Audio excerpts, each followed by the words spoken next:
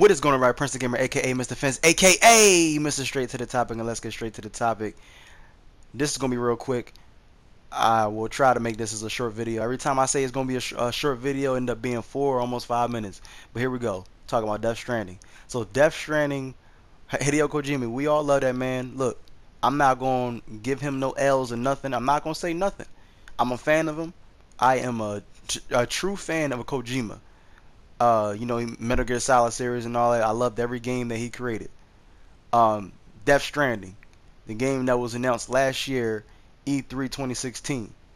Well, is it E3 2016? Yeah, it was E3 2016 that was shown right before, uh, right after Spider-Man, right before Spider-Man, and okay, it gave a vibe of, I mean, you saw the the dark, you know, the dark oil and all that, and the, the baby and some in, invisible thing creeping up on Norman Reedus. You know, come to find out it was Norman Reedus, and then five dudes is in the air and the sky and all that, and everything's dead around them. All the, the whales and all that stuff like that. And then you got, and then you got he got a cross on his belly button, which is removed, which is not there. Then you got the second trailer where there's Mads Mikkelsen and Guillermo del, del Toro, and like you just you just get some this dark vibe about Death Stranding. You know, in the title it says it. Period. Death. Death is in the title. So you you would think this is some type of evil, dark horror type of thing.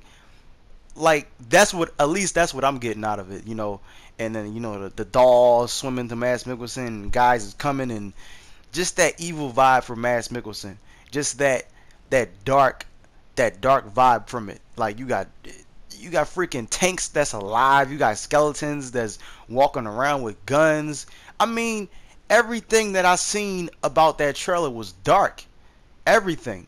Like, and then, like, and he's saying this game is not a horror game, and then he doesn't have a dark mind. Bull crap.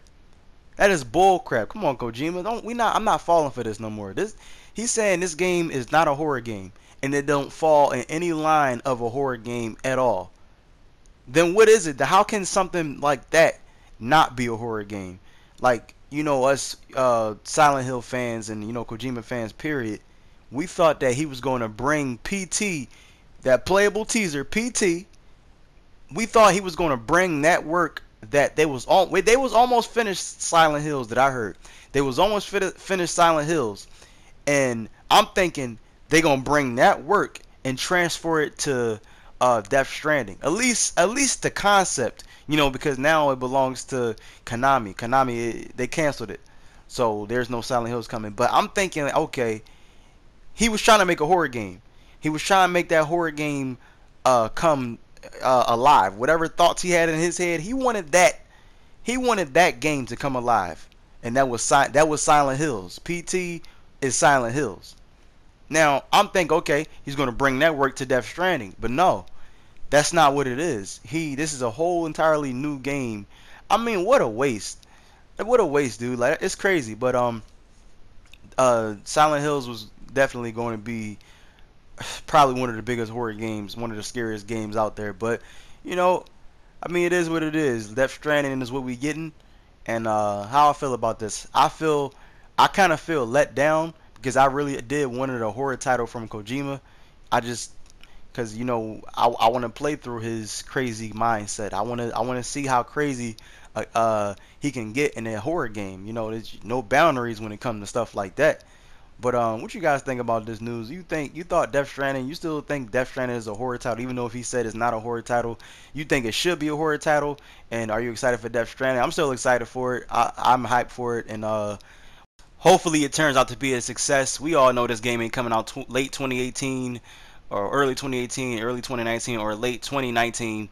Uh, but yeah, write in the comment section. Feedback is guaranteed. And uh, and I see you guys on my next video. This is your boy Prince and Gamer signing out. Peace.